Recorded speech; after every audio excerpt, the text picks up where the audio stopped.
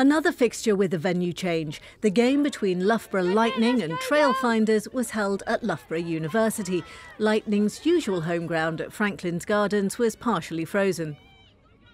The hosts came out of the blocks quickly, with Helen Nelson and then Sadia Kabeya touching down, the tough tackling South Londoner with her first try of the season, and a 12 point lead after just 12 minutes had been played.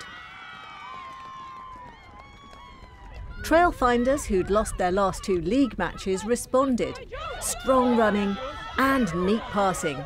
Caris Cox touched down. And with the successful conversion, that narrowed the visitors' deficit to five points.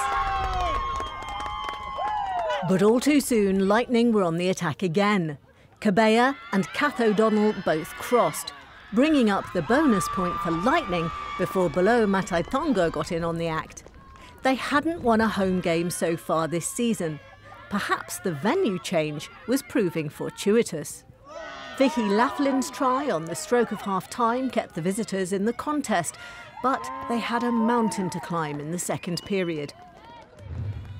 They'd taken the first step in that ascent with Sarasea crossing over, but their progress hit a roadblock, or rather, lightning blazed out of sight.